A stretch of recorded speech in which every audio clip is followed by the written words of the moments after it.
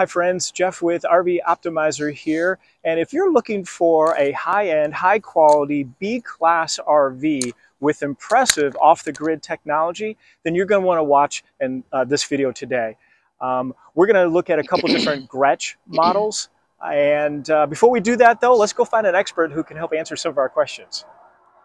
Okay, so I believe I found our expert here. Jennifer, tell us a little bit about where we are and what well, uh, what this dealership about? at RV Country Mesa, Arizona. we are the only dealership in Arizona that does supply the Grech. Um, we carry every model at this location. Perfectly. So which one is this one we're about to jump into? This is going to be the Strada Ion Lounge, which is going to be in silver. It is a 2023. It is got the air suspension. It's also going to have the leather Italian seats on them. It's going to have the Ion system, which is completely different with Grech right now. No, no generator is going to be on this unit. It's all solid birch, quartz countertops. This is the lounge, so it's going to have four seats instead of two, which will have the big drop-down bed in the back, which is a, just under a king size. Also, everything is going to run on the lithium system on this unit annually for about 10 hours without having any extra power going on this unit. Okay, so now we're inside. Let's talk a little bit about what we're looking at here. So this is going to be the, obviously the Strada Ion Lounge. This is a loaded chassis. So as you can see, the touchscreen system's on the front. It's going to have the power seats, uh, full swivel seats on the front and in the back. It's going to have the marine grade flooring. You're going to have a table that goes right here and swivels. Um, it's going to have the, same the sensors on the side. It will have the all of your stereo system will hear and go through the back. You can switch it from the back to the front and the front to the back and outside. You do have the powers for your awning in here as well. It does have lights that you can, you actually have dimmer switches on all the lights, which a lot of people don't know on the Grech, but if you hold the button, it will dim them. Up or down, right? That. Right. This is going to have the Timberline system. It's going to have the Firefly system, which the Timberline is the diesel fire fuel system, which is really nice. Obviously, your, your solar charging station is going to let you know how you're doing on here. You do have a DVD player. It does come with little covers. It comes with pillows. You're going to have a little bit better room in this one because it's the 24 footer.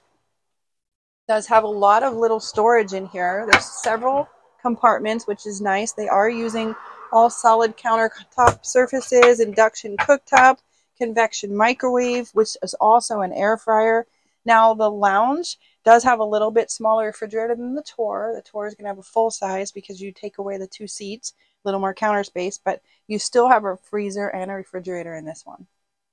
Um, you can see your awning, you can see how your batteries are doing. You're going to see how this one is, says it's got the generator, but it's just the inverter with the charging station of your solar. Yeah, so no generator. So that's what I want to talk a little bit about the power process, how that works in here. So Tell me a little bit about the lithium batteries. How much capacity do we have? So you have just over 16,000 watts of lithium ion system in this with 1260 amp hours. All right.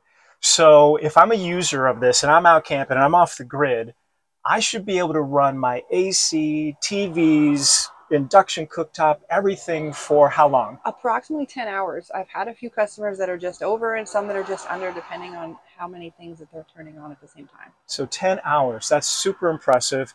And you have, what, 300 watts of solar on the roof? Yes. So it's going to kind of trickle charge those batteries back. But to regenerate them, you guys have a separate alternator on the engine. Correct. So you turn on the engine, it's going to completely charge your lithium system you do not have to be moving to charge it. You can just be sitting in one place if you're camping, and that will recharge your lithium system. And Jennifer, do you have an estimate of if I'm idling uh, and I took those batteries down to almost nothing, how long I should be able to run the engine to get that back up? You are looking at between one to two hours to charge your batteries back up. Okay, that's pretty reasonable, I think, mm -hmm. considering uh, what you got here to work with. That's very cool. Mm -hmm. So a little bit more on what we're seeing here, which would normally be talking about or showing you information around your generator, since this doesn't have one.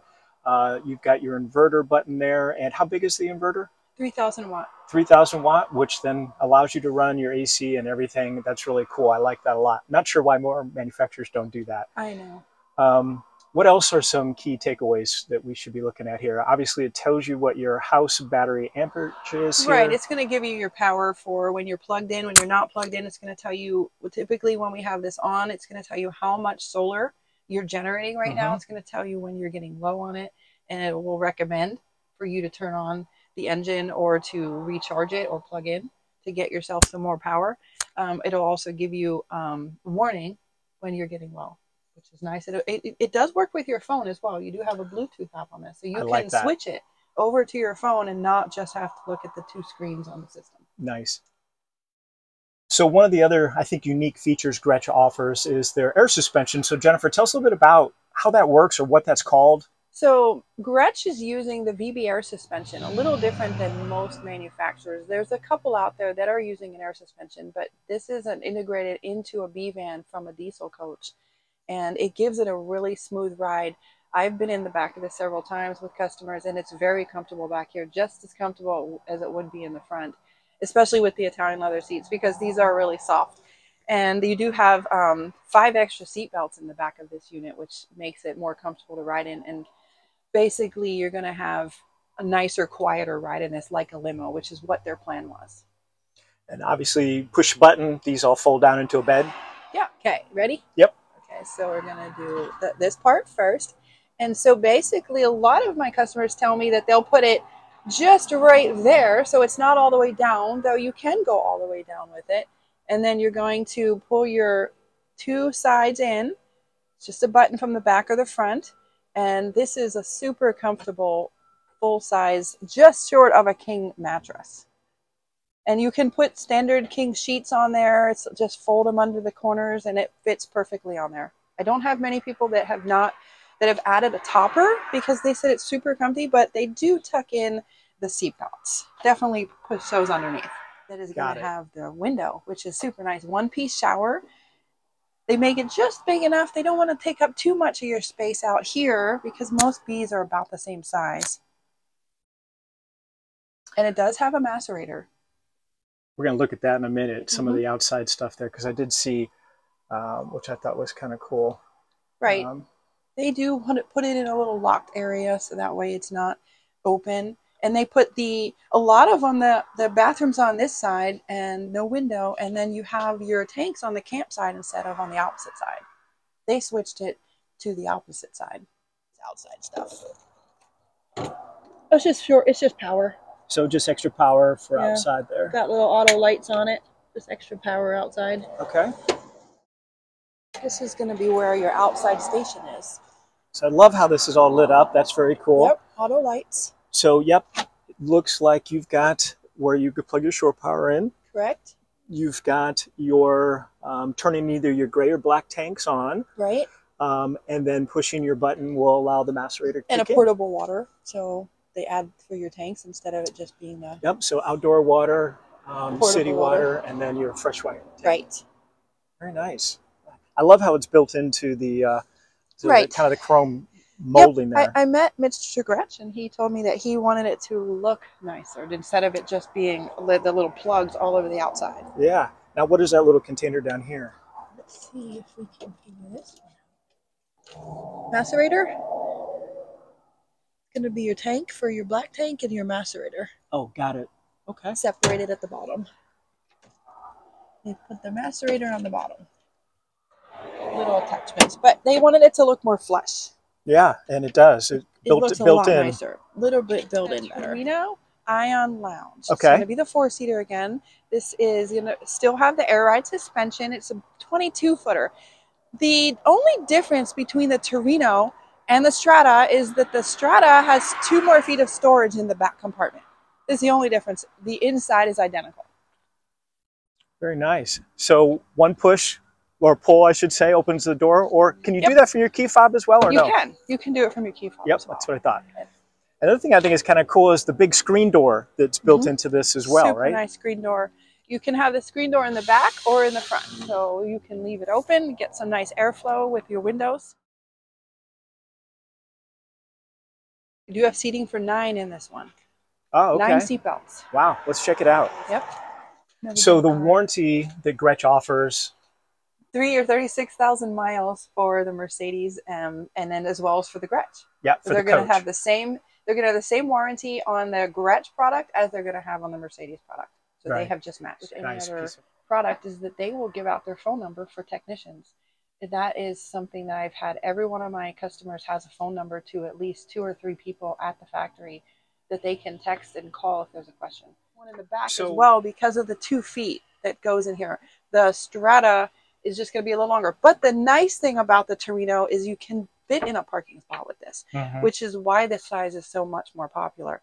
It's just a little bit smaller and you're not really missing anything inside, just a little bit of compartment space, which a lot of my customers will add a rack on the back and they will put their storage products out there, like on all of them with the Ion.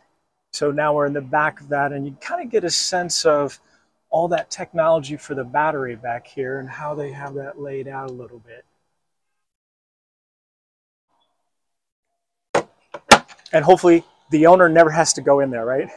Exactly. Actually, most times when there's an ion issue with a customer, this is why they give out their phone number. It's almost always user error where they're just missing something. Yeah. And they tell them how to reset or or turn off a disconnect and turn it back on or what their power how they can look it up on their touchscreen and see where they are with the with the amps that they're getting. It does have heated tanks, so it is going to be a little bit better for cold weather, though I don't know if I would live in it in Alaska because you do still have your windows and it's going to be a little cold, but it does fare really well. I have several customers that are in the snow, South Dakota, North Dakota. They specifically picked the four by four option so they could drive through the snow and they're they said it keeps it keeps up with the it's also small. So look at the inside. It's really a small unit. That heater system, it's got the Timberline system, what is the diesel fuel that is keeping it warm and it does keep the unit warm and it also keeps it cool in the summer.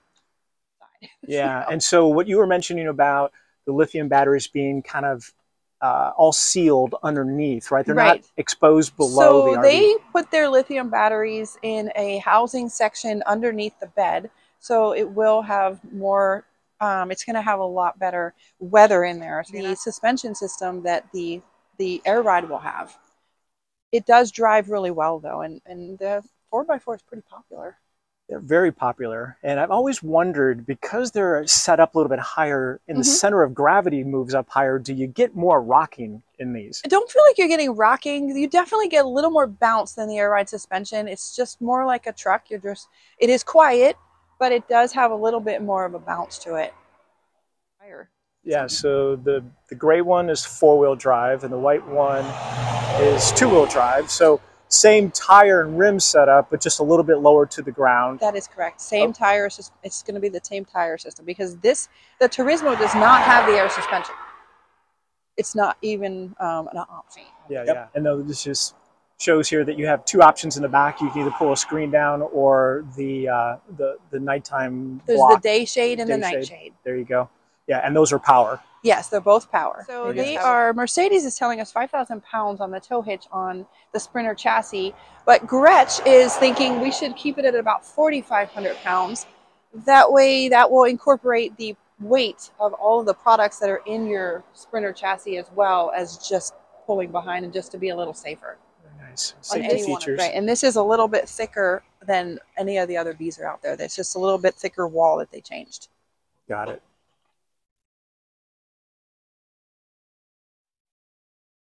So Jennifer, I want to thank you for taking us around the Grech RVs, a couple different models that you have here. Uh, very informative, very nice vehicle.